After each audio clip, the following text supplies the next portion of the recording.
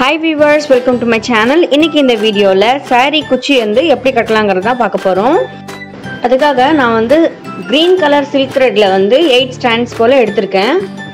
ஏன்னா என்னோடய சாரியோட கலர் பார்த்தீங்கன்னா க்ரீன் கலர் அதனால் அந்த மாதிரி எடுத்திருக்கிறேன். ஆல்ரெடி நான் வந்து சாரியை வந்து பிக்கோ ஸ்டிச் போட்டு நான் எடுத்து வச்சுருந்தேன். இதில் வந்து ஈக்குவலாக ஒன் இன்ச் போல் மார்க் பண்ணி எடுத்துக்கலாம். ஒன் இன்ச் டிஸ்டன்ஸ் தான் வைக்கணும் அப்படின்னு கிடையாது. உங்களுக்கு எவ்வளோ விருப்பமோ அந்த டை அதுக்கேற்ற மாதிரி நீங்கள் வந்து டிஸ்டன்ஸ் மெயின்டைன் பண்ணிக்கலாம். நாம் எடுத்து வச்சிருக்கிற எயிட் ஸ்ட்ராண்ட் த்ரெட்டோட இந்த பீடை வந்து நான் கோர்த்து எடுத்துக்கிறேன். இந்த மாதிரி எந்த டிசைனில் இருக்கிற பீட்ஸ் வேணாலும் நீங்கள் யூஸ் பண்ணிக்கலாம். இப்போ இந்த வீடியோவில் காமிக்கிறது போல் நீங்கள் வந்து ஊசியில் குத்தி எடுத்துக்கலாம். அதே மாதிரி வெளியில் வந்த நீடலை வந்து கரெக்டாக அந்த பீட்குள்ளே விட்டு வெளியில் எடுங்க.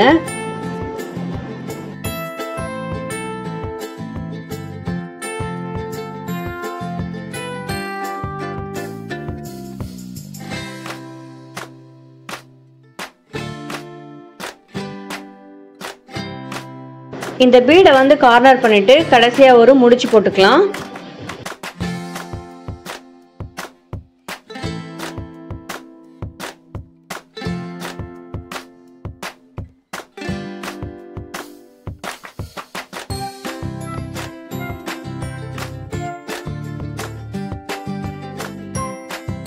த்ரெட்டு சைஸ் வந்து ரொம்ப சின்னதாக இருக்கிறதுனால எனக்கு ரொம்ப கஷ்டமாக இருந்தது இந்த மாதிரி த்ரெட்டு நாட் போடுறதுக்கு.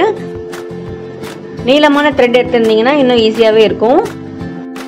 ஸோ நான் இதில் பார்த்தீங்கன்னாக்கா நான் உங்களுக்கு ஒரு நீடில் யூஸ் பண்ணி தான் வந்து இந்த த்ரெட்டை லாக் பண்ணியிருப்பேன் எதுக்காக யூஸ் பண்ணேன் அப்படின்னா அந்த த்ரெட்டை வந்து கரெக்டாக அந்த பீடுக்கு கொஞ்சம் முன்னாடி வந்து முடிச்சு போடணும். அதுக்காக தான். இப்படி நீடில் யூஸ் பண்ணி போடுறது தான் பார்த்தீங்கன்னா குச்சி டிசைனுக்கு ஈஸியாக இருக்கும். எக்ஸஸாக இருக்க த்ரெட்டை வந்து ட்ரிம் பண்ணி எடுத்துக்கலாம். அதே மாதிரி நான் எல்லா இடத்துலையும் ட்ரிம் பண்ணி போட்டு முடிச்சிட்டேன். இப்போ வந்து பார்த்தீங்கன்னா ஃபிஃப்டி ஸ்ட்ராண்ட்ஸ் ஆஃப் த்ரெட்ஸ் வந்து எடுத்துருக்குறேன். இதை வந்து பார்த்தீங்கன்னா கரெக்டாக அந்த முடிச்சு போட்டிருக்கோம் இல்லைங்களா? அந்த கேப்பில் கரெக்டாக வந்து நீடியில் விட்டு வெளியில் எடுக்கணும். இது செய்யும்போது கொஞ்சம் கேர்ஃபுல்லாகவே பண்ணணும். ஏன்னா இது வந்து சில்க் த்ரெட் இருக்கிறதுனால அப்படியே வடிவிட்டு வந்துடும் அதனால கொஞ்சம் கேர்ஃபுல்லாக பண்ணுங்கள் இந்த இந்த ஸ்டெப்பு மட்டும். இந்த மாதிரி வெளியில் எடுத்துட்டு இதை வந்து நம்ம லாக் பண்ண போகிறோம்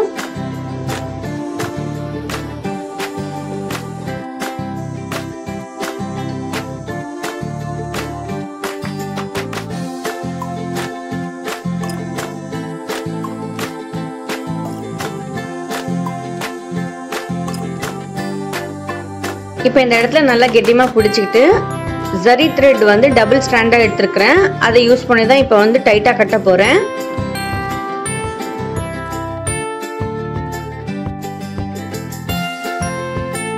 இதில் ஜரி த்ரெட் பார்த்தீங்கன்னா லாஸ்ட்டில் வந்து என் நாட் போட்டு வச்சுருக்கேன். இதை நீங்கள் போடாமல் கூட நார்மலாக அதுலேருந்து உள்ளேருந்து வெளியில் எடுத்து நீங்கள் ஜஸ்ட் டைப் பண்ணி லாக் போட்டு எடுத்துக்கலாம். அது இன்னும் சிம்பிளாகவே இருக்கும்.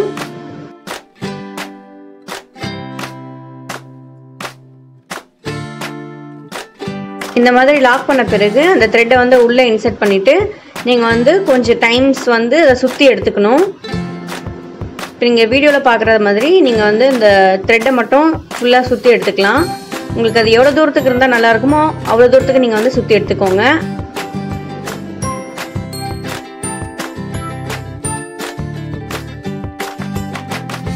சுற்றி முடித்த பிறகு நார்மலான ஒரு லாக் ஸ்டிச் மட்டும் போடுங்க. இது எப்படின்னா இப்போ நீங்கள் வீடியோவில் பார்க்குற மாதிரி ஜஸ்ட் இந்த சைட்லேருந்து விட்டு ரெண்டு நூலுக்கும் நடுவில் விடுங்க. ஸோ இது வந்து ஈஸியாக லாக் ஆகிடும் இந்த மாதிரி ஒரு ரெண்டு மூணு தடவை லாக் போட்டுட்டு அந்த த்ரெட்டை வந்து கரெக்டாக அது உள்ளேயே விட்டு எடுத்துக்கலாம். இடத்துல அந்த த்ரெட்டை வந்து அப்படியே உள்ளே விட்டு ட்ரிம் பண்ணி எடுத்துட்டேன். ஸோ இது வந்து இப்படி தான் இருக்கும். இதே மாதிரி ப்ளூ கலர் த்ரெட்டை யூஸ் பண்ணி நான் ஆல்டர்னேட்டிவாக போட்டிருக்கேன். இதோட ஃபைனல் லுக்கு பார்த்தீங்கன்னா இப்படி தான் இருக்கும். இந்த வீடியோ கண்டிப்பாக உங்களுக்கு பிடிச்சிருக்குன்னு நினைக்கிறேன். பிடிச்சிருந்தா லைக் பண்ணுங்கள் கமெண்ட் பண்ணுங்கள் ஷேர் பண்ணுங்கள் மறக்காமல் சப்ஸ்கிரைப் பண்ணிக்கோங்க. கூடவே இருக்க பெல் ஐக்கனையும் ப்ரெஸ் பண்ணிக்கோங்க. அப்போ தான் ஃபியூச்சரில் நான் எந்த வீடியோ போட்டாலும் உங்களுக்கு நோட்டிஃபிகேஷன் கிடைக்கும். தேங்க்யூ டடா பாய் பாய்